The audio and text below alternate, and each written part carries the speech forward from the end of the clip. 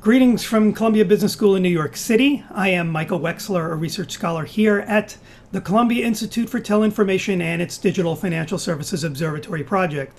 Today, I am delighted to announce our reaching of a milestone the pre release of the actionable risk management framework that you're about to see. The ARMF is being presented by its primary architect and my colleague here at the DFSO, Keith Bowie. A questions and answer session will follow.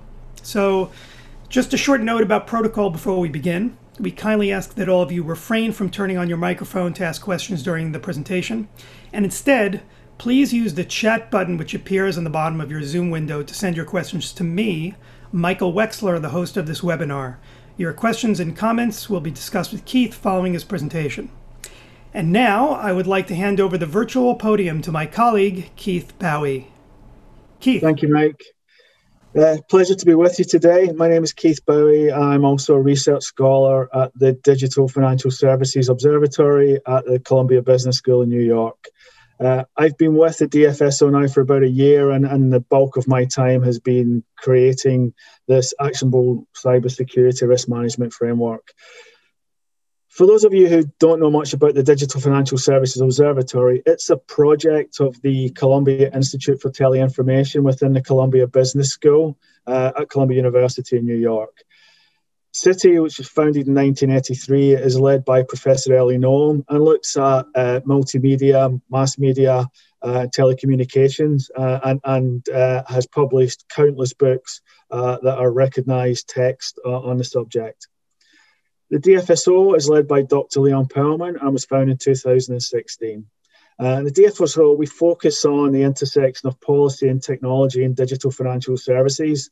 Uh, and Leon, especially, has, has traveled extensively within the DFS world and, and has created policy with regulators and is a very well respected authority in the DFS. Uh, we have a, about 6,000 or so people registered on our on our website uh, and downloading our articles. Uh, and and we we normally have uh, in times where there's no COVID, we have summits, roundtables, we publish white papers, and we have webinars more regularly than we have been. Uh, our website is at the bottom, and, and these slides will be issued at the end of the at the end of the webinar. So today, as we said, we're going to discuss our, our cybersecurity risk management framework, but a little background on, you know, why why do we need cyber risk management frameworks?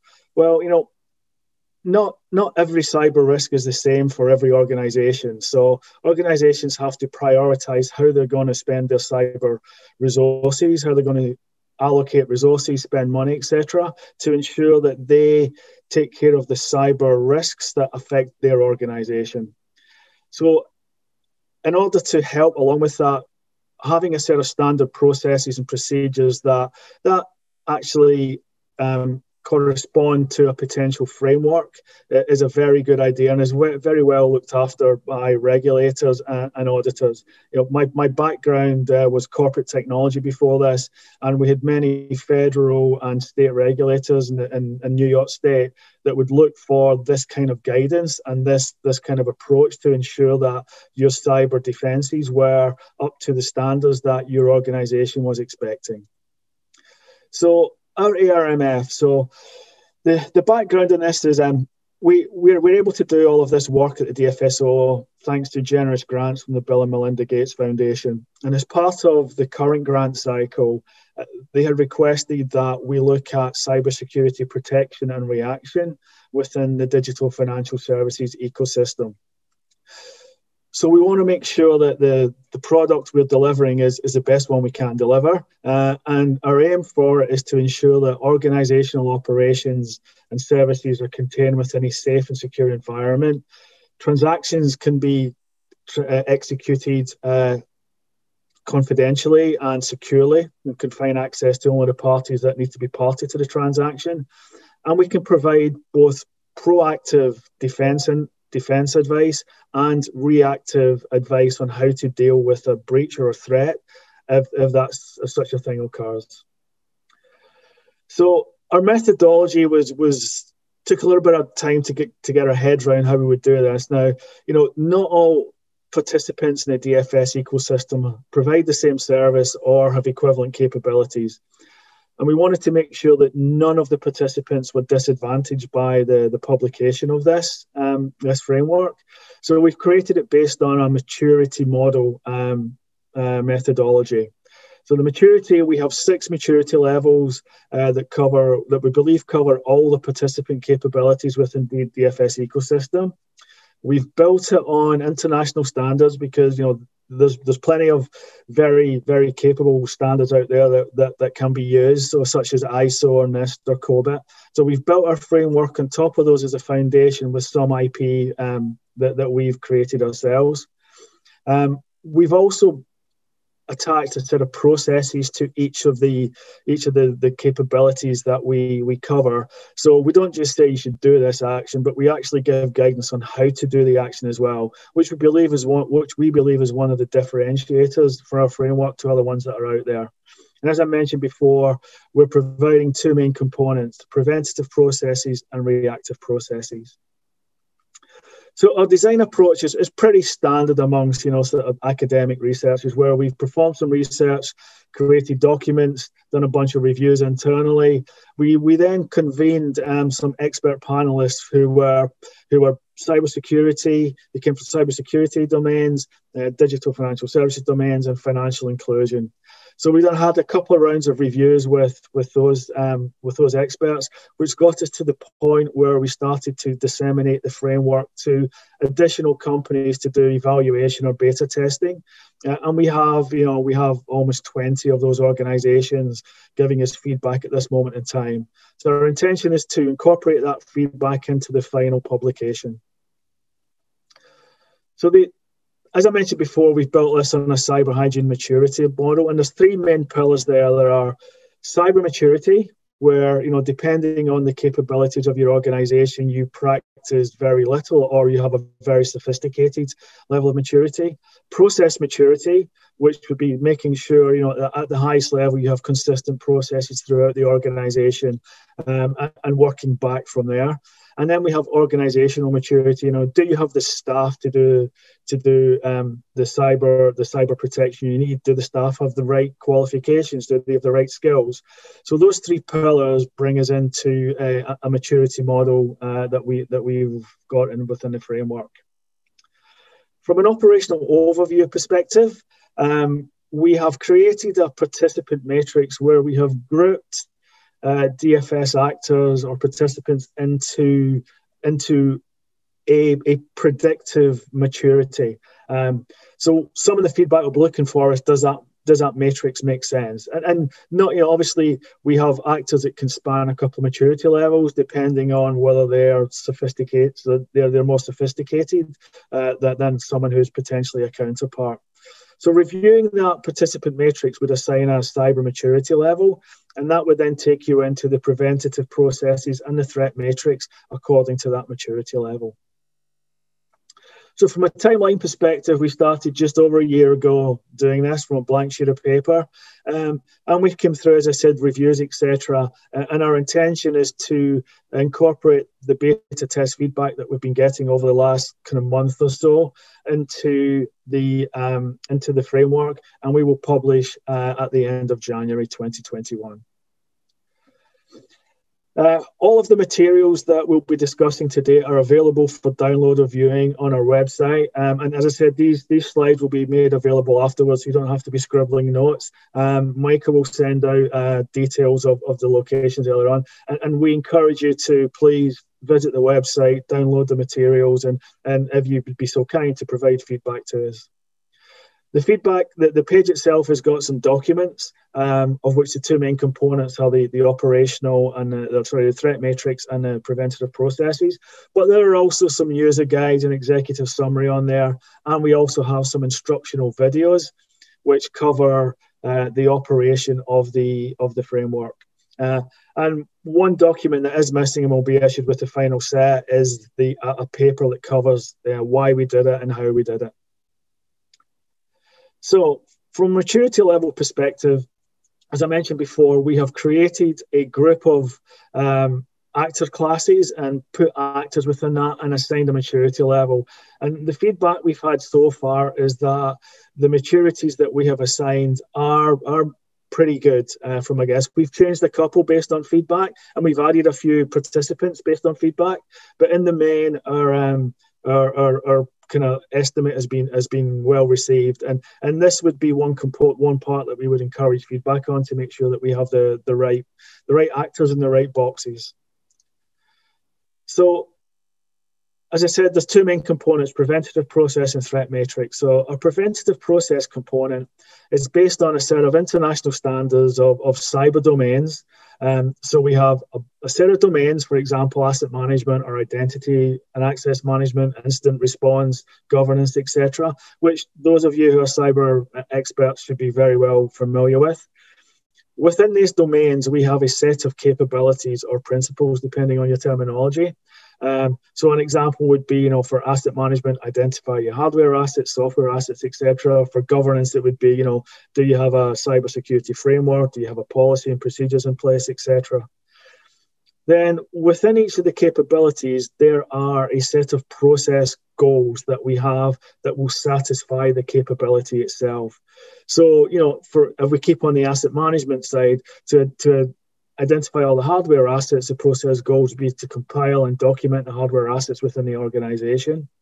And then the crux of the matter here is the actual processes themselves.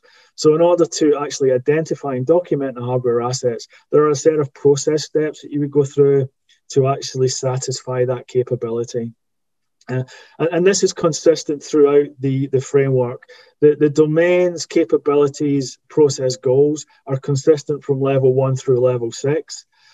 The actionable processes themselves differ according to the maturity level. And at the low level of maturity, say one or two, some of these may not be applicable because if you have maybe an agent who's sitting just with a point of sale terminal, they don't need to do go through a whole rigmarole of process to actually catalog a, a set of hardware that maybe a credit union or a microfinance institution have in the cloud or sitting on a, on a data center somewhere.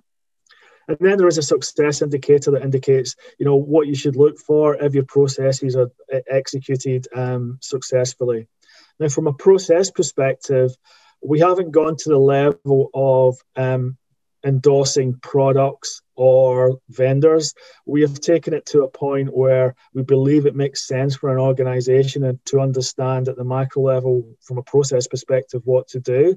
And organizations can then tweak the processes uh, any way they, they wish to. So again, we're not, we're definitely not endorsing vendors or products or platforms at this point in time. So from our, our preventative process count here, as you can see, the domains on the left hand side, we've got 10 domains in total. Um, and we have um, a bunch of uh, capabilities. There's 83 in total.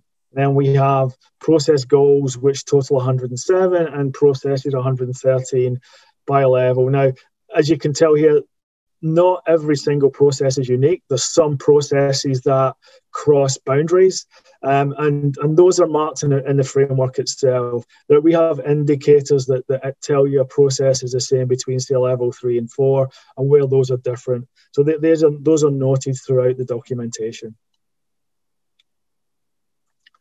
The threat matrix component uh, is is basically how to minimize the or how to respond to a, a potential breach or a threat and how to minimize the impact.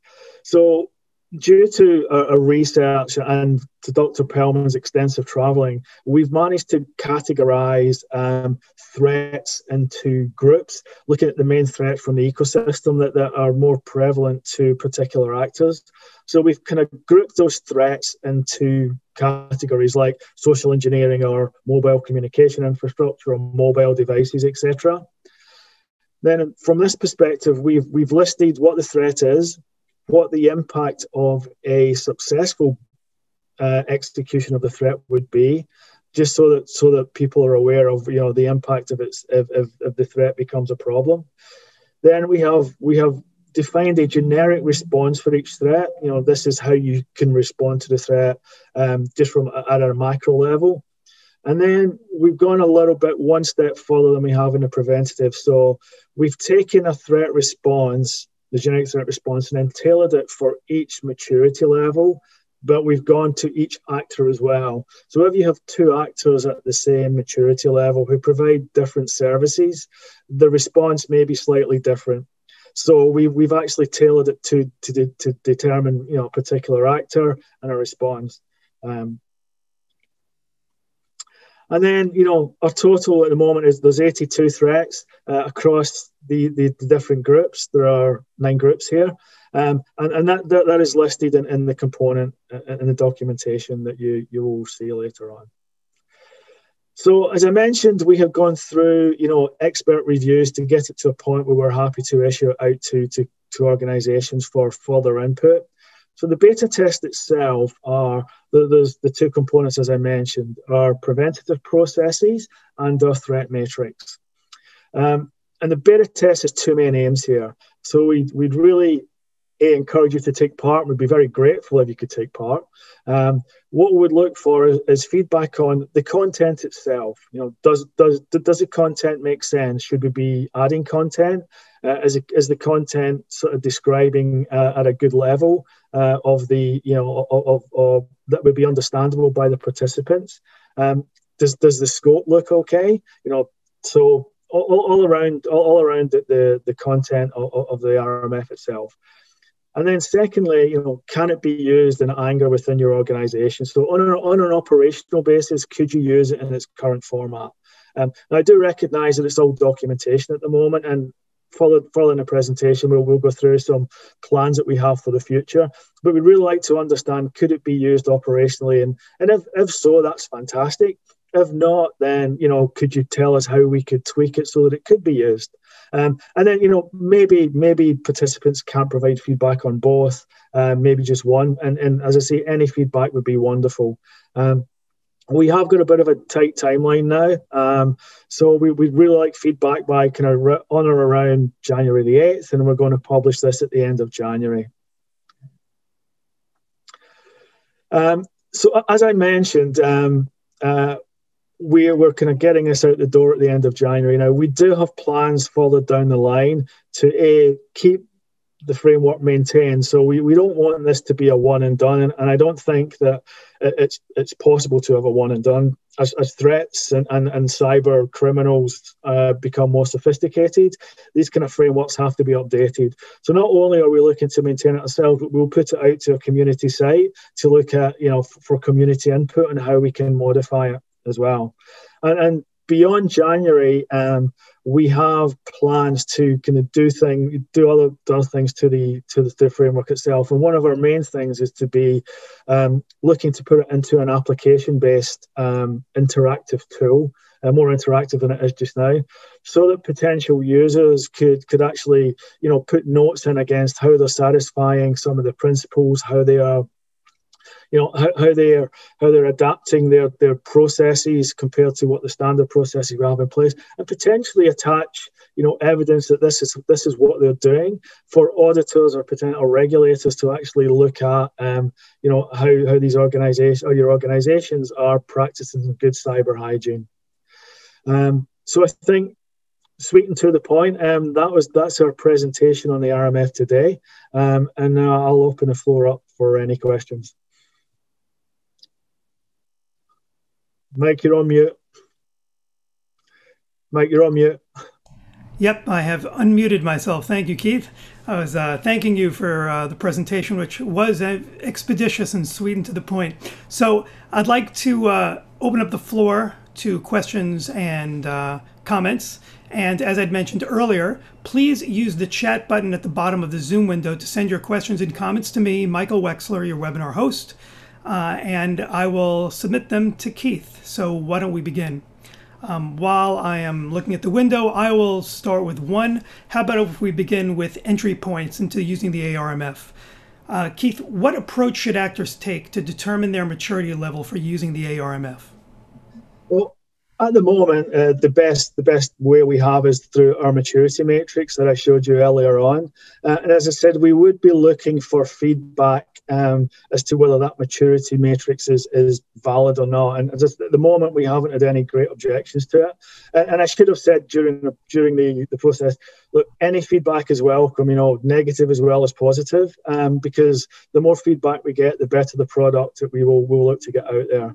But looking at the maturity pillars that we have, I think if you look at the pillar, the three different pillars, and look for your organization about where and what box you fit, um, you know, you could be in box three for one and box two for the other, or four and three, etc. I would then look at the taking the lower level of maturity to make sure you cover it. And as you go through the processes, it can all can, it can also work as a as a check a checklist on am I doing these things? And if, if you are doing them, but to a higher standard than than what than the level you've entered at, you could potentially say, well, we're actually a level higher than we thought we were. So what's both a, both a reference guide and a checklist as well. And in terms of any questions with regard to that, um, we'll have uh, we'll be able to make ourselves available to be able to help yes, with determining yes, those yes. maturity levels. Yeah. So so Michael, our contact details are here, and as I said, the slides will be sent out later on um, after after the webinars. Um, we're available for calls or emails, uh, etc. If, if, you if you download the uh, download the details uh, of, of the, or, or, the artifacts that we have, of which after the webinar, you know, as well as sending out the uh, the slides we have here, Mike will send a, an additional email with the con the, the content URL. Uh, okay, great. So we have a question here from Satyajit who asks who is the target audience for the RMF? Is it governments, regulators, DFS providers, cybersecurity consultants? As DFS is a cross cutting field with intersection with tech providers, financial institution providers, and governments. Yes. Great question, thank you. So, so our target is the DFS participants or providers. Um, we, at the moment, we we've slanted it towards organisations or, or, DFS participants. Um, we do have regulators and governing bodies evaluating the framework uh, as part of our beta test. And longer term, we would look to tar- we would look to partner with regulators and and and uh, regulatory bodies uh, or central banks to see whether we could use this as a guidance tool towards legislation or whether we can use it as a monitoring tool for participants. But at the moment, it's slanted at participants. So we have another interesting question from Norbert, who asks regarding the threat matrix. Do you consider also some kind of weights to be assigned to the various categories? For example, probability or potential damage level? Um, we will we will do in the future, Norbert. Um, thank you for that. At the moment, we have not, um, and that's one of the areas we kind of we kind of we were pressed for time to get this out the door. So, a future enhancement is not is not only to do that to assign capability or probabilities or or the the the risk of a a successful breach, but also allow organisations to do it themselves rather than us assign a blanket um, a, a, blanket score. It would because each organisation the threat may be different uh, across organisations. We would allow organisations themselves to put in some probability or pro- probability score, which could then come out and and um, actually dictate to them, you know, where their biggest risks are. Yeah, you, had mentioned that this is a living document, I believe, earlier. So, in terms of yeah. progress, these things aren't expected to be done in a day, and we're very glad to work with people um, in our audience. Please reach out to us um, so that we can make continuous enhancements to the ARMF. So, um, I'll actually uh, raise a question which I was thinking about, which uh, came up earlier this week. Perhaps you could discuss a little bit more about some of the issues that have arisen with some of our collaborators and some of our expert panels. And I'm thinking one particular, which I worked on in a cybersecurity and gender paper with regard to some of the most popular attacks in DFS. Yeah. So, so we've had in the main we've had positive feedback to to the uh, the framework itself. So nothing horribly negative, which is good. A um, couple of things that we've we've been asked to do is one um, put a little bit more cloud. Um, uh, components in there, which which will do about how you protect against cloud and the, the, the services that DFS participants are gravitating towards the cloud. So we will do that before it's published at the end of January.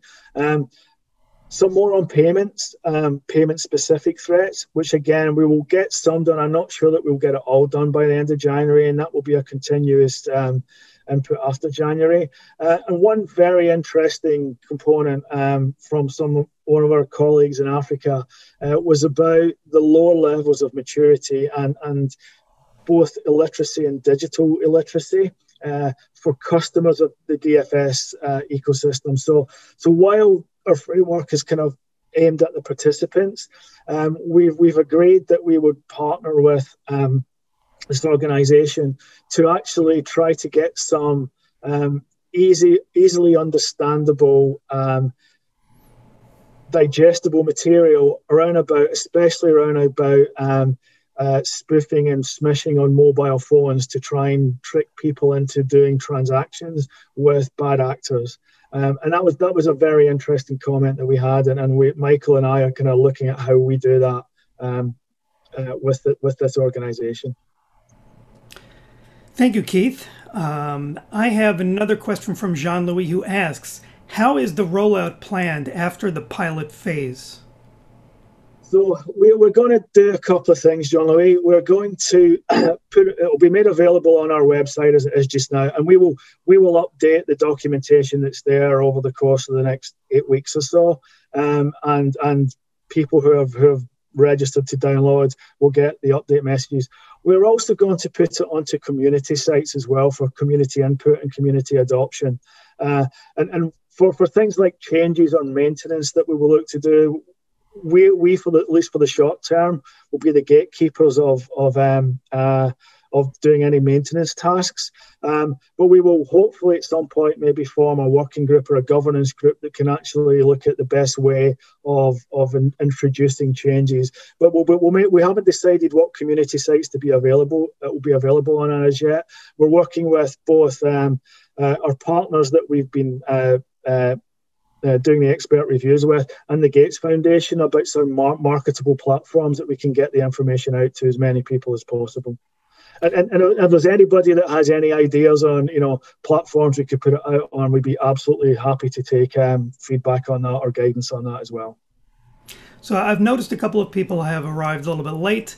I uh, just wanted to mention that we are actually having another session of uh, the ARMF presentation tonight well, it is uh, 9:30 a.m. in the morning in New York now, but at 10 p.m. tonight as well to accommodate our uh, friends globally. Um, so if you have any questions and you'd like to join us also later at 10 p.m., please do so. It should be in our invitation, and you can send any questions to me at the email address on your screen. Um, so uh, please do so. I do have another question for you, which is an interesting one, something which uh, is about insurance and compliance. So, some thoughts maybe you can share with us with regard to using the ARMF for insurance or compliance purposes, which is probably quite relevant um, as to news uh, lately. Uh, so, uh, as, as I mentioned before, you know, we, we're kind of looking at while longer term, we'd love to sort of have this um, be a component of potential regulation or be adapted to conform to regulation. Um, we do believe that using a framework to to manage manage your your cyber resiliency or uh, cyber protection um, is good practice and will be looked on favourably by regulators or auditors or or in fact as you say insurance companies. I think that you know cyber insurance companies will look, will look for, you know, are your policies and procedures sound? Are you following a methodology? What are your incident response plans, etc.? What are your business continuity plans to make sure that you have um, a are protecting according to your risk profile, and b that any incident that happens will have a minimal impact and that business can continue as usual.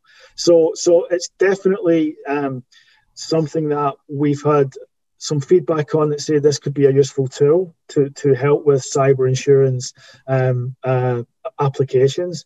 I think also interestingly, we actually got um, comment from from a couple of participants that bilateral contracts could could actually use this to make sure that as you go into um, business with another vendor or, or a, another uh, organization within the ecosystem, that you know you can prove to them that your cyber resiliency is at a level that is applicable to your business and that could actually be written into a contract. So we've actually had feedback from i think it's about four organizations now that they would be very um, open to having something like this in bilateral trade uh, trading contracts or vendor contracts with organizations that they deal with. Thank you keith. Um, I think we have time for just one more question and maybe a, short wrap up um, for now. What are some of the most popular questions that we've been asked that maybe you could cover for our audience here, which were asked and discussed with our panels and experts who worked with us during the beta period?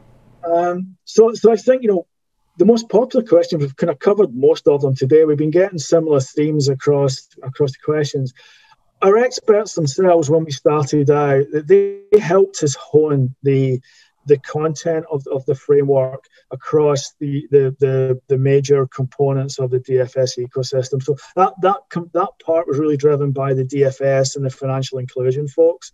Some of the more technical parts about how you then put good cyber hygiene into your um, into your framework was was kind of driven by the cyber components. And and the maturity model we, we didn't actually didn't start off looking at maturity model. That kind of appeared literally about a year ago just about last christmas time um, where a couple of our expert panels uh, mike and i actually sat down and had a very long session interactive session with them physically when you could do things physically uh, at the university. And they got us round to the fact that you know given the wide range of capabilities within the ecosystem, a maturity model really would suit. And and then we kind of thrashed out what how a maturity model would work and what the pillars would be within that maturity model. So that was a real kind of light bulb moment for us, literally about a year ago uh, now. Um, the other themes, as I mentioned, you, you kind of covered in the questions here. Um, I think the payment one, uh, including more payment um, specific items uh, will come up more because quite a few of the folks we've spoken to are either in the payment provider um, business or our central banks who are, who are monitoring payment transactions and security around payments. So I think that one is going to be key for us to make sure that we, we implement or we document those. So we, we had one more interesting note, which uh, hopefully you can shed some light on. Uh, so the comment was with regard to work being done in West Africa um, that there it was shared that it's challenging to have it self-administered in emerging countries and needs some support with regard to that uh, with yeah. administration. Maybe you can yeah. speak to that. Yeah, so so that's well understood, and and you know, as I say, while you know, while we really we really would like input from um, you know organisations that are taking part, we have actually been speaking to central banks and regulatory bodies, communication regulatory bodies about the framework um, with the view to them using it as a, a supervisory or monitoring tool. Um, so completely understood that maybe in the first phase organizations might say hey this is great start start to implement it and then kind of drift away so our, our real game would be earlier in our next phase as we get to these things to engage the regulators to actually help govern the the areas or the participants of which they're responsible for. So that that would be something that is it's definitely at the forefront of our our, our roadmap uh, but is you know unless unless the regulator regulators come back with feedback that they are going to use it right now, um, we'll be a we'll be probably a few months away before we kind of get them actively engaged to help do it, uh, help um, help inf- not enforce, but help use it as a monitoring tool. And one other thing I, I wanted to mention is that as as we get further through our next phase, we have had very positive communications with some um, regulatory bodies about p- potentially attaching a certification process to the framework for the particular areas that they, they regulate. Those those um, conversations are very early days, but there is a will there to actually um, take this forward. Thank you, Keith. You know, each time you give this presentation, I always see something new to go ahead and add.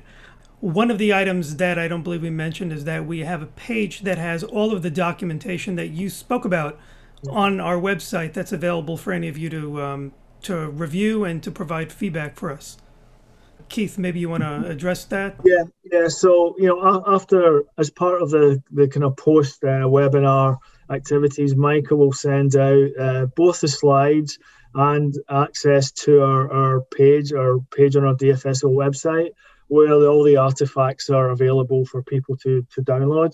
Um, as well as the artifacts themselves, there are like a user guide, um, and there's also some tutorial videos that people have uh, reacted to very positively that actually helps people understand um, a each individual component and how they interact together. So they're, they're, they're they'll be available uh, in the post post webinar uh, communication.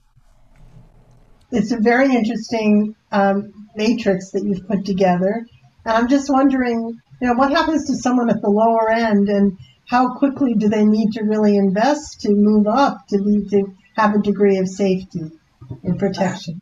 Okay, thanks, Matt. Um, so obviously, I think it, it, it, depends on where they are just now, and you know, the, the, the framework itself, as you'll see when we issue the, the documentation, at the lower level, not everybody has to have the same level of protection. You wouldn't expect an agent who's maybe sitting in a in a bodega somewhere with a point of sale terminal to have the same level of protection as a multinational bank that's got a branch in the capital or something like that.